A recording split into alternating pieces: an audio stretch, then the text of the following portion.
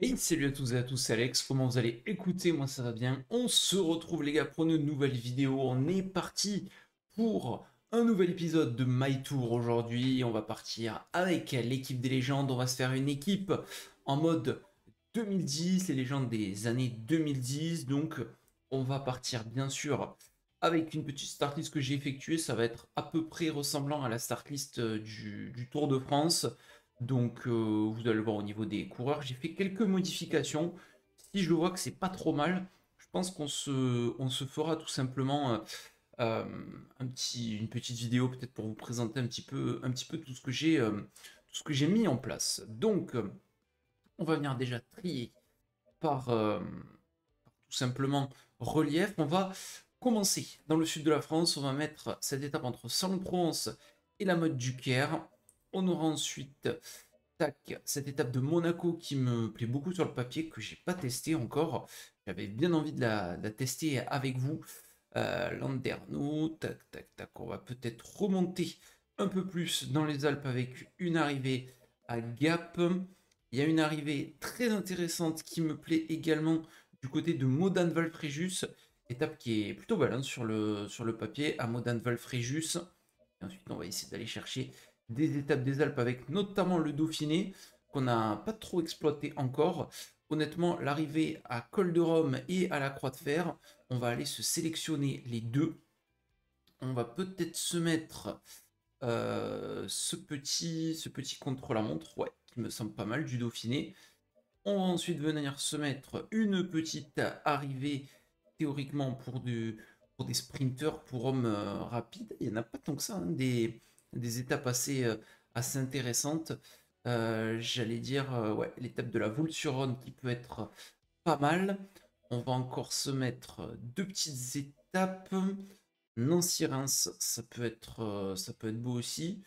L'arrivée à Berne. Hum, hum, hum. Ouais, l'arrivée à Berne peut-être. Qu'est-ce qu'on a sinon qui peut être intéressant? L'arrivée à Valence. On va mettre Valence semble, qui me semble pas mal. La place donc de cette étape. Et ensuite, qu'est-ce qu'on va venir se mettre pour terminer au niveau des étapes de montagne qui sont pas mal? Est-ce qu'on en a dans les, Pyrénées qui pourraient être sympas? Il me semble que quelque part, on a l'étape de Luzardiden qui est belle, mais il y a également celle de Tarascon-sur-Age et de fois, les deux m'intéressent beaucoup. Euh, fois, on la connaît. Tarascon-sur-Age, par contre, je la connais pas du tout. On va peut-être terminer avec celle-ci. Euh, et derrière mettre une étape, euh, on va dire, assez vallonnée. voir ce qu'on a en, vallon là dans le, secteur. Pour être très sympa, il y a Brioude qui est, belle, belle étape hein, Brioude, et Client pour terminer. ça me semblait de, de, belles étapes ça. On a de la montagne, de la moyenne montagne, on a un petit peu tout, et des étapes pour les sprinters aussi. Ça me semble pas mal, 10 étapes. Est-ce qu'on se met une journée de repos? Je pense que oui. Ou non, on n'en met pas. On va pas mettre de journée de repos, ça sera parfait comme ça. Et on va donc avoir toutes ces petites équipes. Ça me semble assez intéressant avec les, légendes qu'on va, venir, qu'on va venir sélectionner bien évidemment.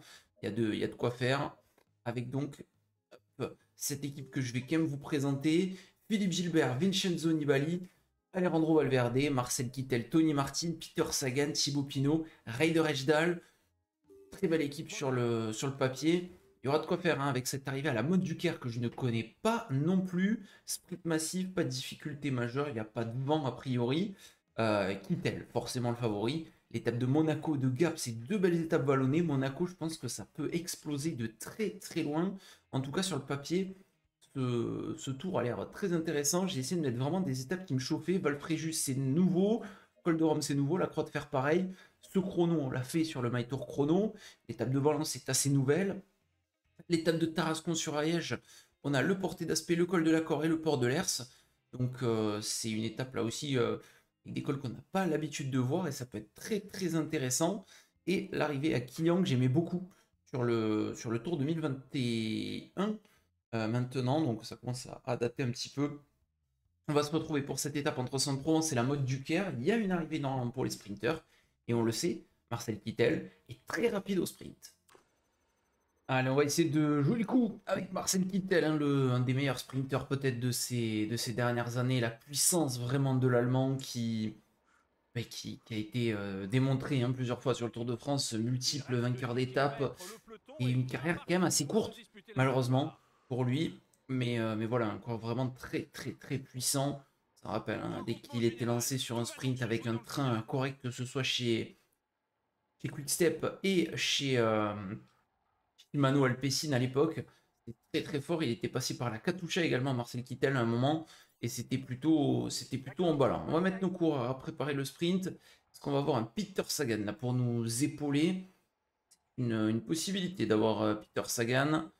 Vincenzo Nibali, lui, va être notre leader pour le général, on le sait. On a 8 km et demi. Regardez, c'est au ralenti, personne ne roule pour, euh, pour cette échappée. Valverde là qui est en train de, remonter. Je sais pas trop où il est, Alejandro Valverde. Pas trop le maillot de mon équipe. Il est là, à droite, là, Valverde s'il veut, veut rouler. S'il veut rouler, il peut Valverde. Il faudrait surtout du Tony Martin, du Philippe Gilbert et Peter Sagan également. On va essayer là de, se mettre euh, voilà, en forme avec Valverde qui est en train d'amener ce groupe 7 km et demi. Ça peut faire mal hein, de, rester dans la roue là, de, de Alejandro Valverde qui est en train de, faire exploser totalement le groupe. Il fait mal, Alejandro là d'ailleurs. Il fait bien bien mal. Et il est en train de, de faire sauter tout le monde. Là, pour le moment de sa roue, l'espagnol. qu'on laisse partir euh, peut-être la Valverde? Ça oblige les autres euh, équipes à réagir. Pour le moment, Alejandro Valverde a pris quelques petits mètres d'avance. Et ça oblige les autres équipes forcément à suivre le, boulot, à suivre le tempo. Valverde quelques secondes seulement. On a les coéquipiers de Jasper Philipsen qui sont en train de se repositionner. Pour le moment avec Kittel, on a l'opportunité d'aller faire un très très beau sprint. Ramon Sinkeldam qui se replace avec Mathieu Van Der Poel dans la roue. Valverde toujours devant là pour l'instant. Il s'est cramé Alejandro Valverde, mais il mérite quand même de, secouer un petit peu le, peloton. Je cherchais Peter Sagan qui n'a pas pu remonter. Vincenzo Nibali est là. Bien placé Vincenzo.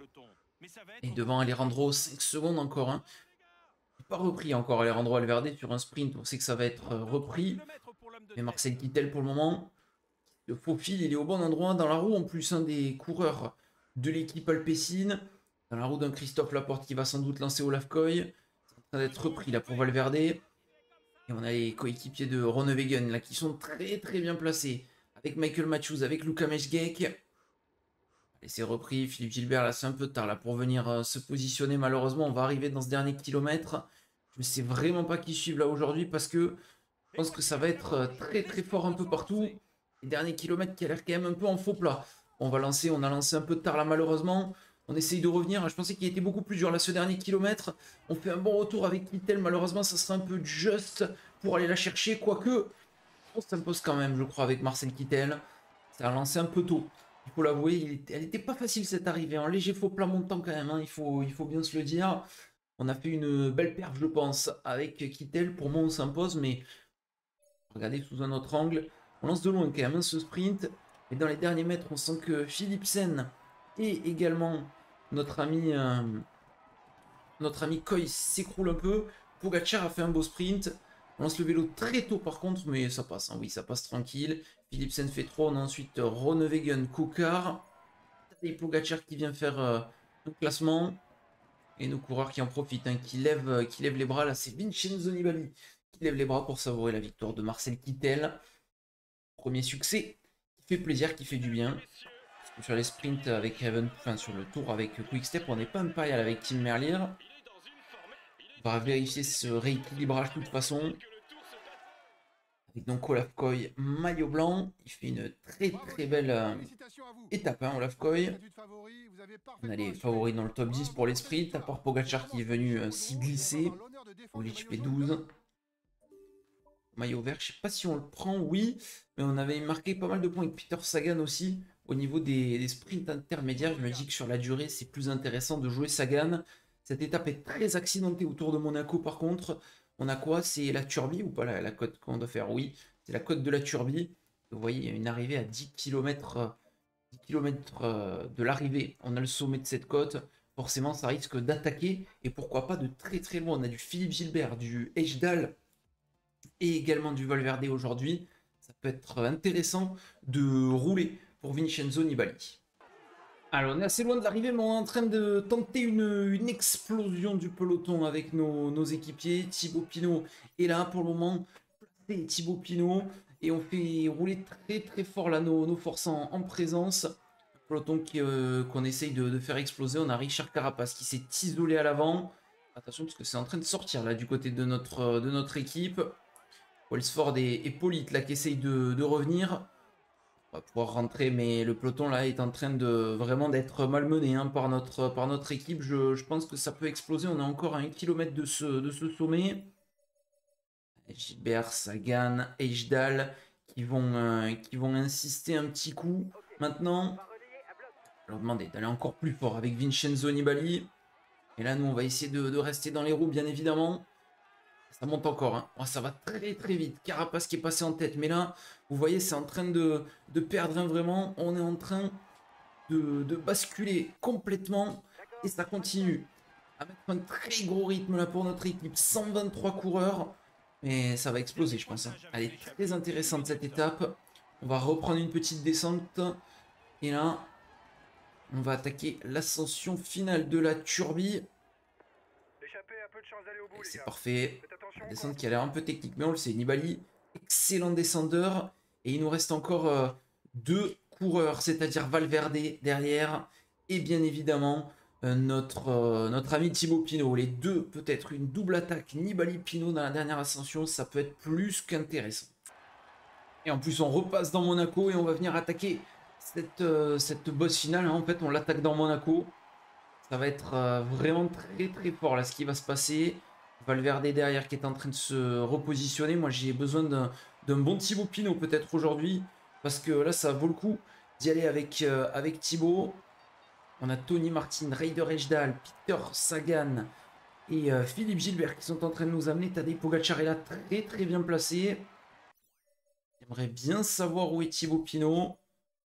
Et bien savoir si Alejandro Valverde est dans ses premières positions. Ça pourrait être euh, très intéressant. En tout cas, Richard Carapaz a une belle avance hein, devant. Une minute. Derrière Kittel, on la voit, hein, il a perdu 16 euh, minutes là aujourd'hui.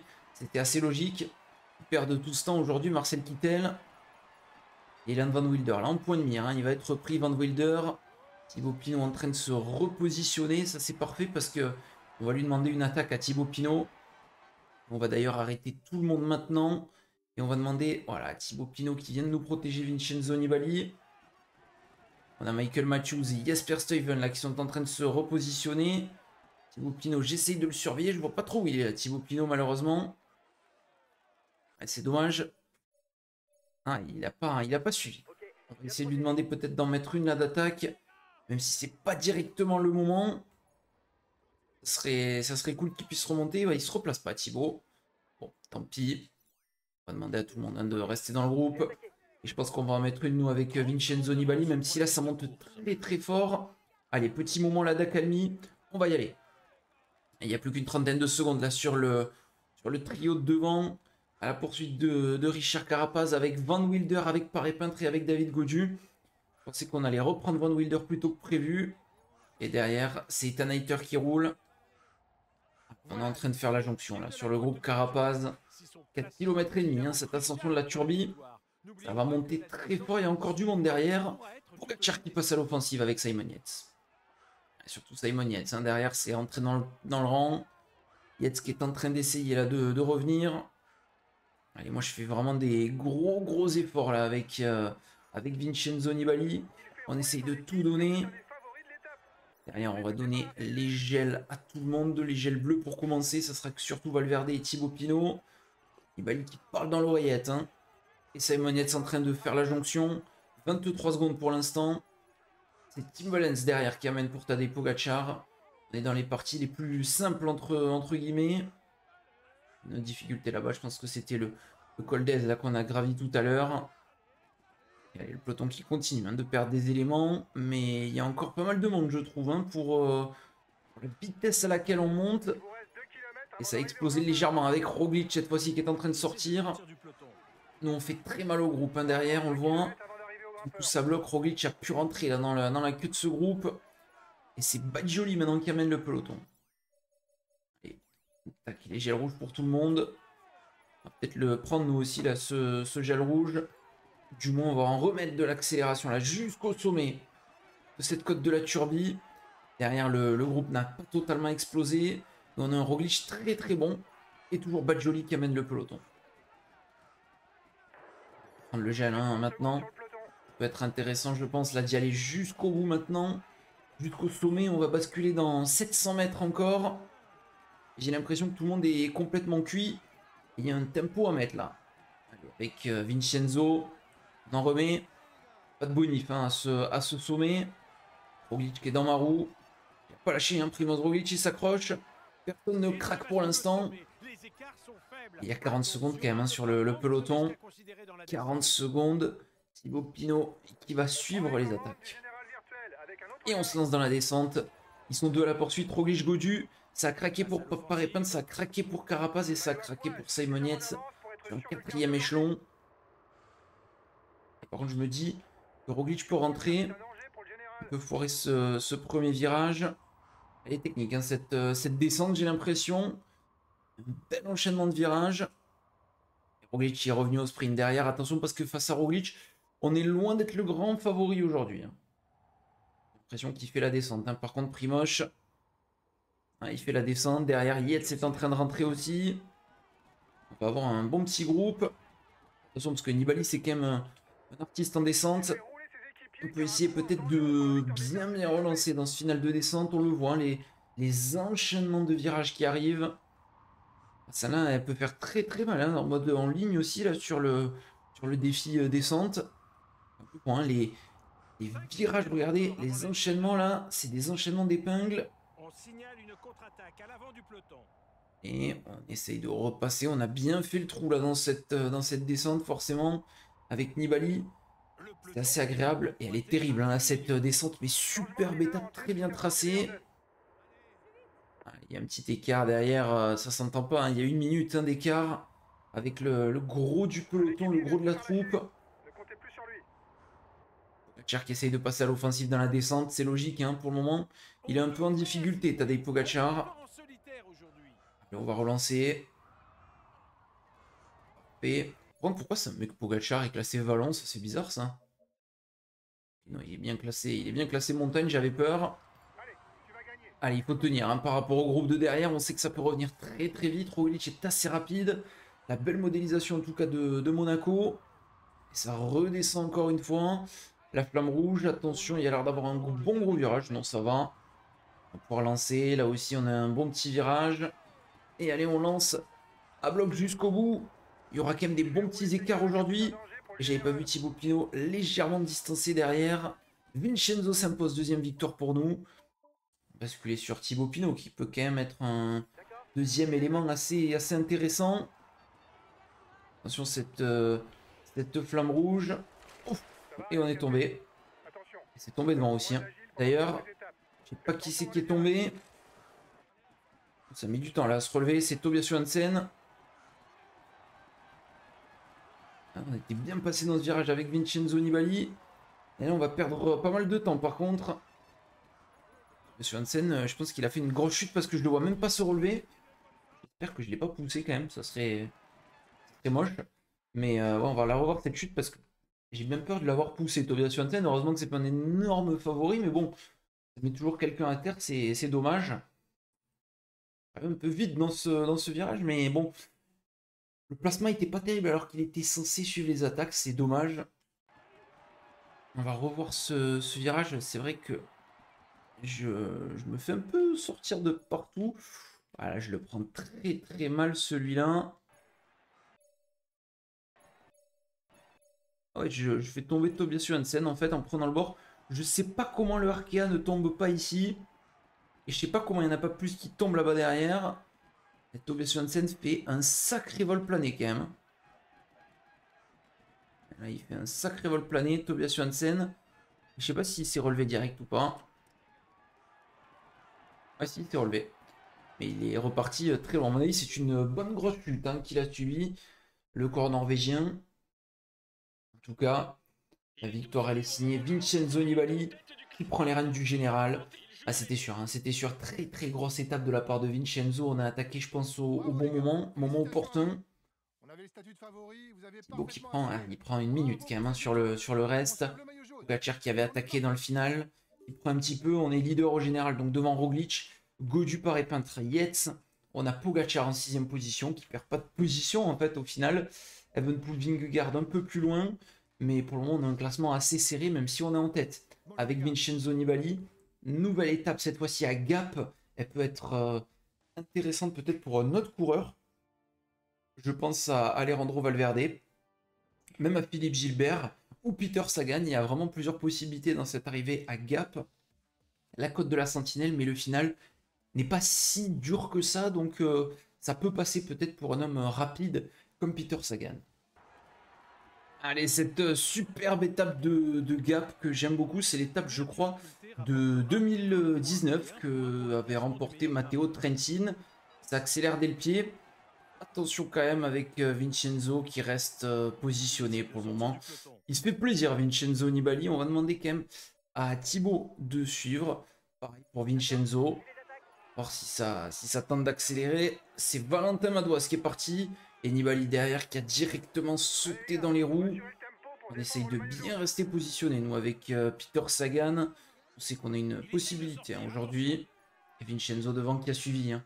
Il, fait, il se met dans le rouge, Vincenzo, mais c'est bon là, parce que ça permet vraiment à tout le monde de suivre derrière et ça fait quand même bien exploser le groupe. Hein. il, joue avec tout le monde là aujourd'hui, Vincenzo Nibali. C'est Hindley qui est rentré. Et nous, avec euh, Peter Sagan, c'est parfait puisqu'on est là. Bien évidemment, Thibaut Pinot est repositionné aussi. L'attaque peut-être de Lennart Kemna. Une accélération simple là de, de Lennart Kemna. Tom Pitcock est là avec le maillot blanc. Elle fait mal hein, cette attaque de, de Kemna, mais nous, regardez, on s'est replacé. On est dans un tout petit groupe par contre. De 4. L'accélération de Vinge. Il est loin Vinge au général, il a perdu un peu de temps sur la dernière étape, mais rien n'est fait encore. Hein. Vraiment, les écarts sont, anecdotiques pour l'instant. Accélération à 2, double là, Marensman Ghana pour l'équipe Ineos. 2 km avant le sommet, ça va pas exploser maintenant. Pour moment, on suit tout, nous, avec Peter Sagan, tout ce qui se passe.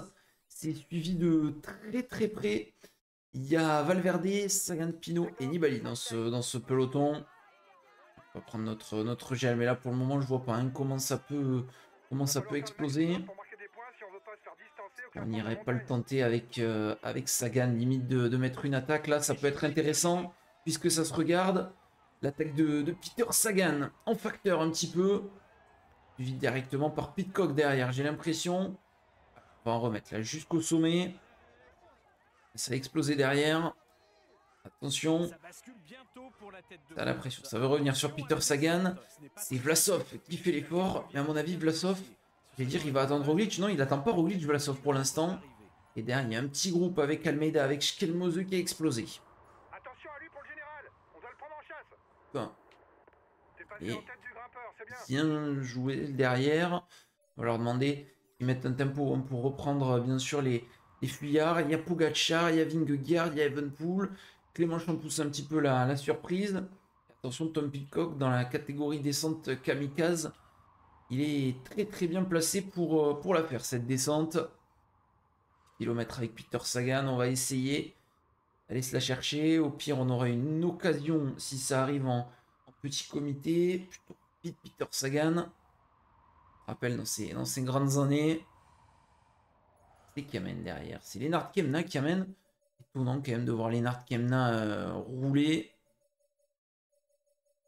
On va mettre Valverde en tout cas sur un gros tempo là-bas derrière. C'est en train de revenir. Moi je les vois revenir là, c'est ça le, souci. C'est ça qui me dérange un peu. Bien pouvoir m'en débarrasser un petit peu avant l'arrivée que là, si ça rentre, on va peut-être calmer le jeu un petit peu. c'est en train de rentrer. On va calmer le jeu. Pogacar qui va peut-être vouloir faire l'effort, mais j'ai l'impression que ça se marque un petit peu. Il demande hein, qu'on lui prenne des relais, Tadei. Et personne n'a l'air de, venir rouler, ça va faire nos, affaires. qui a légèrement perdu quelques mètres. Une garde qui prend pas le relais à fond. On a un Alexander Vlasov là qui, attend un petit peu aussi Roglic. Hein. Il a un peu peur, je pense, Alexander Vlasov. Remco qui prend le relais. Pogacar qui perd quelques mètres dans la descente. Et on essaye d'en remettre quand même. Il faut rester au contact de ce petit groupe. Pour le moment, on est très bien placé. Peut-être pour leur faire peur. Est-ce que ça va rentrer derrière? Est-ce que ça va rentrer avec Alejandro Valverde Il va prendre le gel rouge? Ça va être pareil pour, euh, pour Thibaut Pinot. On va mettre pareil Nibali à bloc. Derrière, attention à Roglic, hein, qui est sorti avec Kamna et Martinez. Et là, si Roglic arrive à rentrer, ça peut faire un très très gros groupe Bourra qui aura vraiment euh, des choses à jouer. Ça rentre, mais peut-être que Pogacar ne va pas vouloir rouler avec les Bora. Pareil pour Jonas Vingard. En tout cas, on est bien placé. Derrière, ça sort un petit peu de partout. Je pense que tout le monde va être plus ou moins quand même dans le, dans le même temps. On est bien placé, nous, avec, euh, avec Peter. Le problème, c'est que c'est Pogacar peut-être un des plus rapides. En tout cas, nous, on lance le sprint face à Tadej. Ça se joue entre les deux, entre Tadej et Peter. Peter Sagan en tête, le Slovaque. Est-ce que le Slovène va pouvoir revenir? Non. Ça va être une troisième victoire d'étape pour nous. Magnifique. Et derrière Nibali, il n'a pas perdu de temps. Il y a peut-être euh, quelques petites secondes de gagner par Pogacar, forcément, avec les bonifs.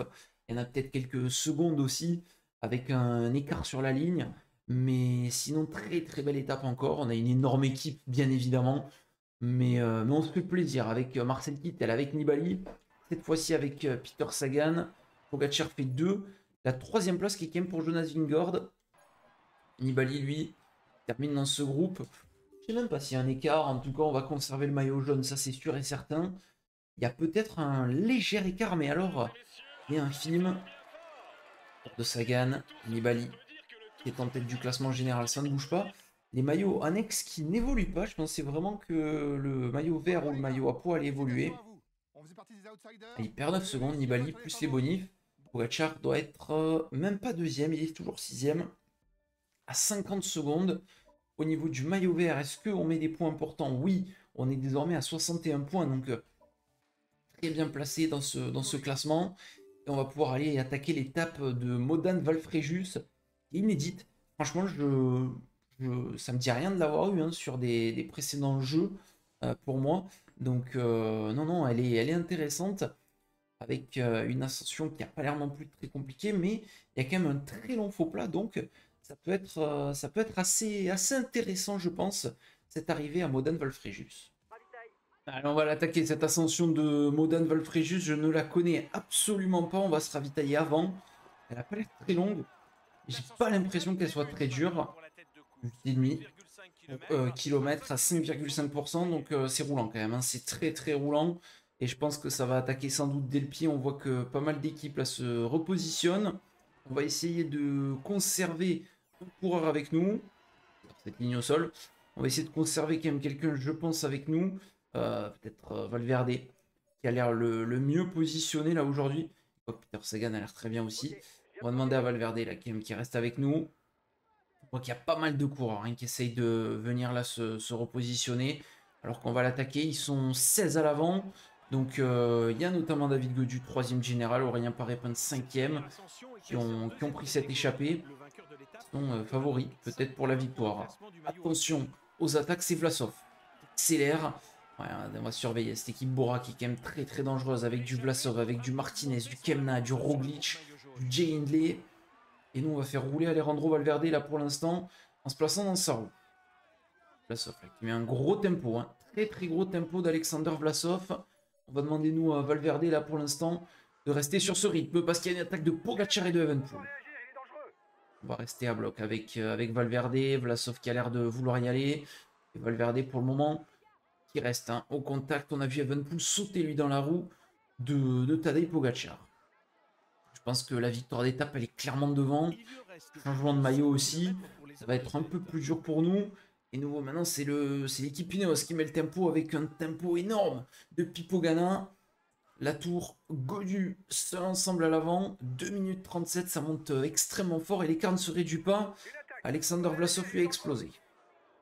Allez, l'attaque maintenant de Roglic avec notre ami Remco Evenpool qui pour le moment suit toutes les offensives. Remco Evenpool. Hein. Allez, Marc Soler qui va y aller avec euh, Joe Almeida. Il y a encore du soutien un petit peu partout là. Adam Yates aussi. Almeida, Soler, Yates. Et je crois qu'on a encore peut-être Ayuso pour, euh, pour Tadej Pogacar. Il y a encore du monde à rouler dans toutes ces équipes. 4 km et demi. Je pense qu'à l'avant, la victoire, elle est jouée quand même pour, euh, pour peut-être David Godu. Et je dois lui distancer. Ça monte fort en même temps. Ça monte très très fort. On va reprendre Roglic. Ayuso se met dans la partie. Il y a 5 coureurs énormes là pour l'équipe UAE. Est-ce que ça va attaquer? Est-ce que ça va se regarder? Avec Nibali, on observe un peu.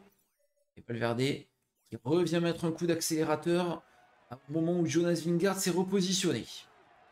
Allez, c'est Jane là qui va venir accélérer. Jane qui vient. Valverde, on l'a compris, hein, lui c'est ça va rester au, contact là maintenant dans le groupe. On surveille Tadej Pogacar qui est en train d'en mettre une. Est en train de, vouloir sortir. Là, Tadej Pogacar, bien aidé par ses équipiers.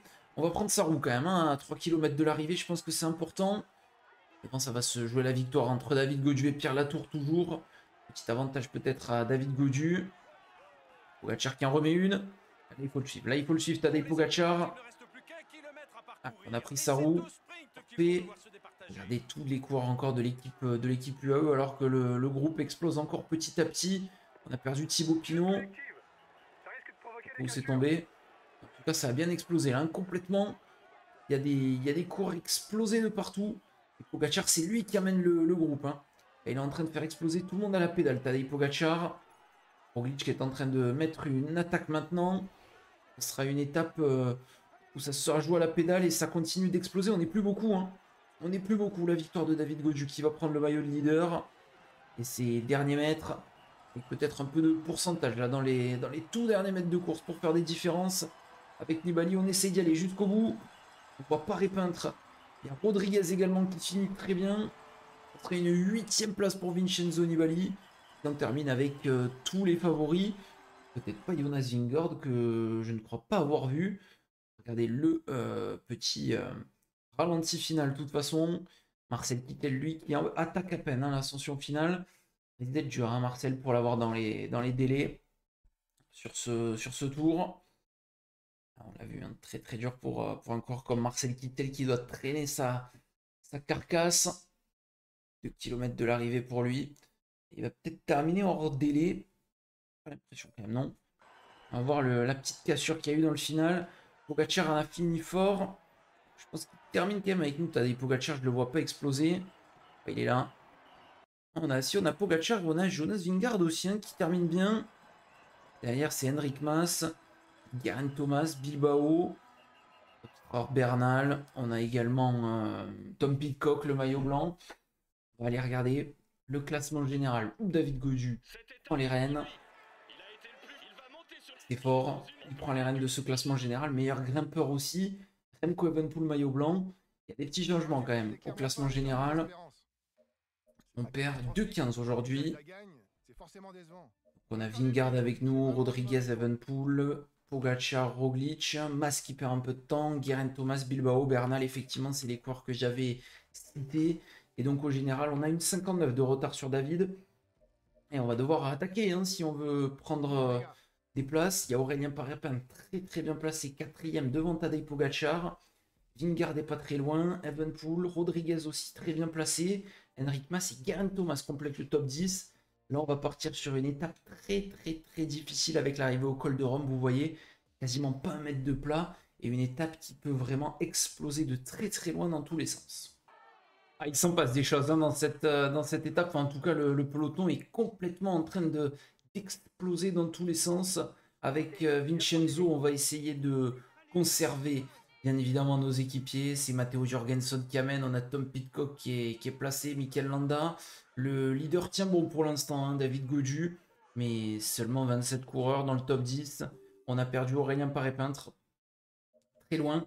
Simon Yates, lui aussi, qui est distancé juste derrière. Hein, Là-bas, Simon Yates dans le groupe avec Pavel Sivakov et, et Axel Laurence encore euh, un, petit, peu escaladé dans cette, euh, dans cette difficulté dans le col de la, Colombière. Ça va très très fort. Il y a Sepkus encore pour Jonas Vingord. Il y a encore du Ayuso, du Almeida pour, euh, bien évidemment Tadej Pogacar ainsi que, que Adam Landa est encore présent. On a encore, je crois, Tom Pitcock. On a peut-être Guerin Thomas aussi pour Carlos Rodriguez. David Godu. Un petit peu tout seul isolé complètement, pas d'équipier. et les Ineos qui ferment la marche. Hein. Ils sont encore en nombre, les Ineos. Il y a pas mal de Bora aussi avec Hindley, bien évidemment, et Plasov. Et devant un Romain Bardet est tout seul, mais 30 secondes seulement d'avance. Encore 5 km dans ce col de la Colombière qui est interminable. Avec une étape surtout qui fait de très très gros dégâts. Je me demande si c'est pas le moment, moi, de tenter de demander à un coureur d'attaquer, mais rouler encore fort. Un Thibaut Pinot de mettre une attaque. Encore si il peut y aller Thibaut Pinot. que Sepkus décide hein, de, prendre le, relais. Sepkus prend le relais, par contre ça va être impossible. Sepkus qui a l'air de, vouloir y aller. L'air droit le Verde qui est en train de se replacer. Et Thibaut Pinot, hein, simplement suivre les attaques, ça sera très bien. Rester dans les, dans les premières positions. Derrière, on a Ayuso qui a explosé. On a Jorgensen également qui a explosé. Rubio qu'on a vu. Ramae maintenant. Ça va continuer, je pense, d'exploser. Après là-bas, je pense qu'on a des, des, coureurs qui sont en difficulté. C'est Hugh là, qui a été le. vient de lâcher. Il y en a un autre, c'est Michael Landa avec euh, Guillaume Martin. Richard Carapaz à son tour. Et là, il n'y a plus grand monde. Hein. On est encore à quasiment 3 km du sommet en train de, faire très très mal. Ça lâche prise de partout là-bas derrière avec Yates maintenant et Bernal.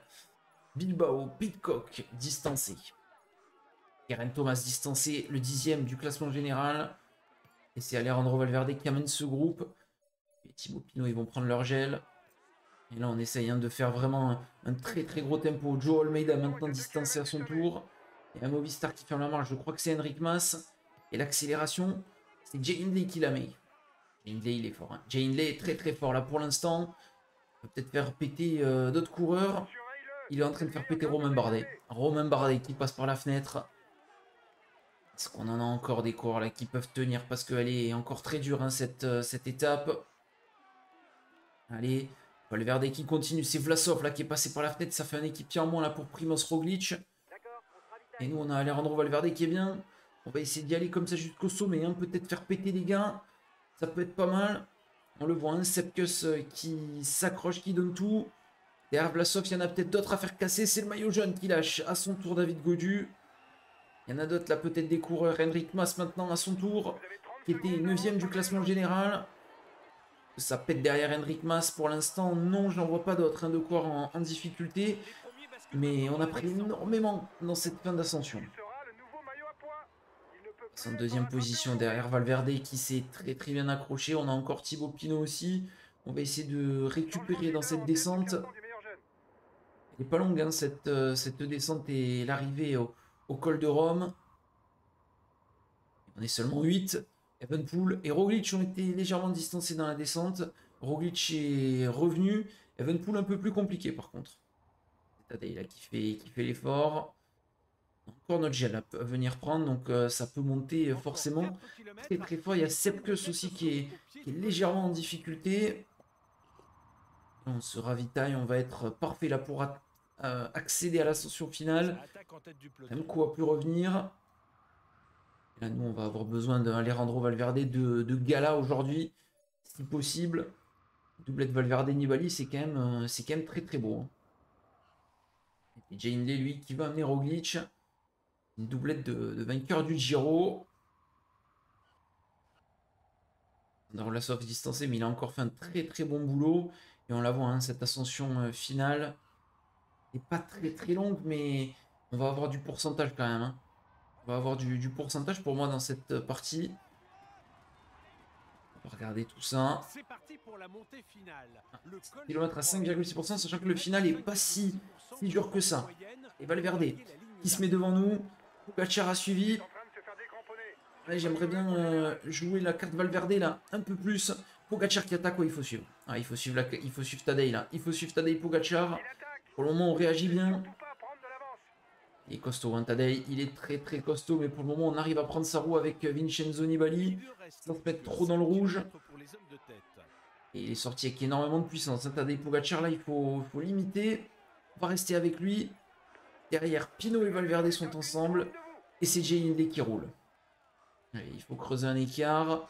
On a presque une minute hein, sur euh, Tadej Pogacar, 50 secondes d'avance. Donc forcément, c'est sur les autres qu'on doit creuser. Et là, virtuellement, on est déjà leader. Hein. David qui est en train de s'écrouler là-bas derrière. On est leader virtuel. Allez, on continue comme ça. allez. Tadej Pogacar qui fait, qui fait cet effort derrière. Toujours Jay Hindley. Il y a encore Sepkus aussi pour euh, Jonas Vingard. Et un homme qu'on n'a pas cité, c'est Félix Gall hein, qui est présent. Et qui est un peu loin sur les premières étapes. Mais il est là, le leader de l'équipe AG2R. On prend notre, notre gel. Tadej hein, qui, qui monte quand même sur un très très beau rythme.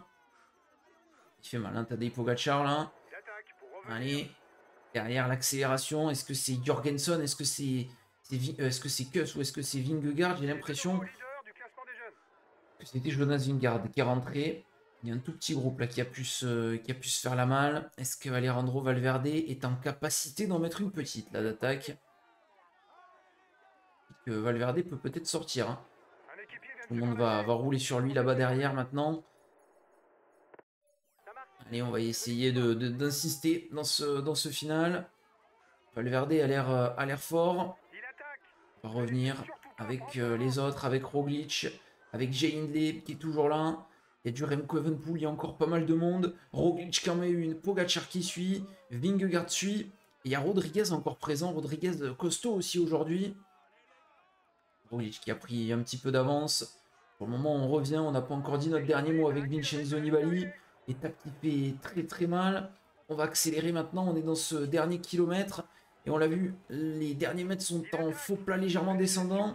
Nibali face à Roglic, ça sera pour Roglic cette étape, avec le retour peut-être de Vingegaard. Mais ça sera pour Primoz Roglic. On va faire euh, une quatrième ou cinquième place aujourd'hui. On a fait une belle étape quand même, hein. très très grosse étape, ça va nous permettre de reprendre le maillot. Et c'est très serré, en tout cas les notes que j'ai mises, je les trouve vraiment cohérentes parce que certes j'ai baissé un petit peu Pogacar et Vingegaard, mais c'est pour éviter que ça soit les deux au-dessus du lot. Et on voit que là on a un Rodriguez qui est pas mal du tout, un Félix Gall sur cette étape qui est, qui est pas mal, alors que bon les, premières étapes c'était pas de la pure montagne, donc ça pouvait se comprendre, mais Félix Gall est pas mal du tout.